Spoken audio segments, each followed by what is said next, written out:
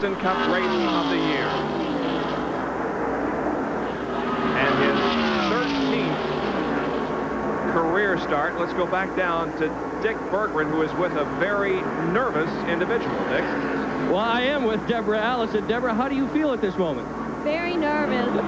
That's what they said on top. What are you thinking at this point? What's going through your mind?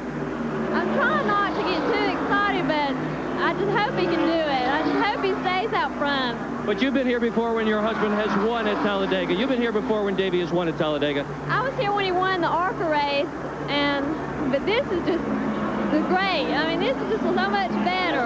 Crash in turn two. We've got a problem in turn two. A car sliding to the bottom of the racetrack. I believe that's Ken Ragan, is it not? Yeah, Kenny Ragan, number 77, did not see it develop. There was some flame as the car was coming down the banking. Uh, apparently, it has snuffed out. Now, the interesting move here is, if there is a move by everybody, will everybody pit? Will people try to make last-minute adjustments in an effort to catch Davey Allison? Will Davey come in? Are they completely happy? Have they saved one set of tires? We have seen many, many Winston Cup races won at this very moment. One car is dominant. Everybody pits late in the race. And somebody, usually one of the veteran crews, pulls a rabbit out of their hat.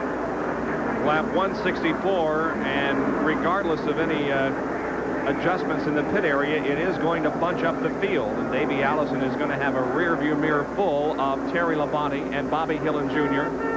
and Kyle Petty and Dale Earnhardt. 25 laps to go. Looks like everybody is looking down low. They'll all be coming here to pit lane.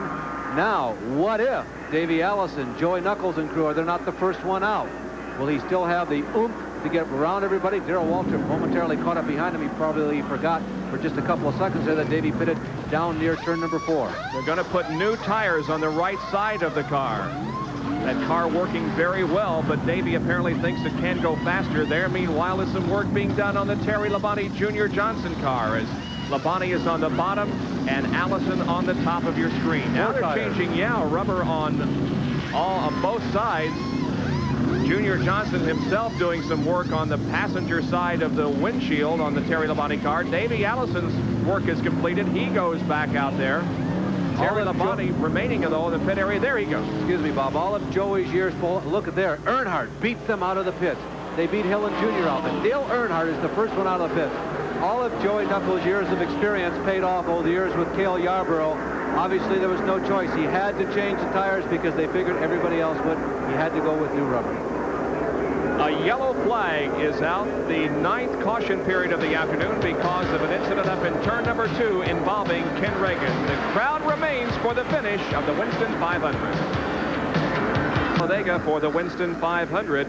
It's getting pretty dark here. Really, the camera does not reflect the darkness. Perhaps those yellow lights that are flashing on and off give you a better idea of how dark it is getting. Skies are still in pretty good shape. No threat of rain to uh, interrupt the finish of this race. We are interrupted here as far as green is concerned because of an accident in turn number two involving Ken Ragan. Ken got up against the outside wall, scraped along it for a while, and then slid down the backing is in the uh, inside of the racetrack on the apron as the track safety crews are over there tending to and cleaning up the debris scattered by Ken Ragan. There are the clouds, but uh, I would consider them just partly cloudy high clouds. Dale Earnhardt came into today's race as the only driver to lead eight of eight races, and he has led a couple of times, make that a few times today. So he's the only driver to lead nine of nine races, and quick pit work has again gotten out. This is the stuff that champions are made of. These guys are just amazing this year.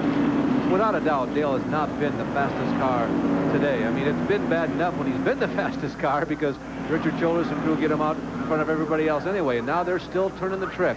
They get him out of the pits here with inside of 30 laps to go, about 25 laps to go. Make that 23 laps to go, and he is up front again. Let's give you the nine cars that are on the lead lap. Earnhardt, Davey Allison, then the number 27 car, Rusty Wallace, Bobby Hillin Jr., Terry Labonte, Kyle Petty, Neil Bonnett, Dave Marcis, and Ken Schrader. A lap down in 10th position is Morgan Shepherd, then Lake Speed, Benny Parsons, and Darrell Waltrip. Those are the top 13, nine on the lead lap. Also coming into today's race, or should I say this evening's race, Earnhardt had 148 points more than he had in 1986 at this time. Bill Elliott had 193 points more. He has not been able to keep up with the pace, but Dale Earnhardt has. Can Dale Earnhardt substantially add to that total? We'll be back to let you know. ESPN and Bill Elliott racing fans here at Talladega. Elliott has dropped from competition. He will not win here today. Well, NASCAR, we understand, has just announced that in 10 more laps, this race will end, and that is because, I assume, of darkness. It will be 10 laps from the point of the green flag. It is getting rather dark here, but uh, we're only 21 laps away from the official finish of the race, but they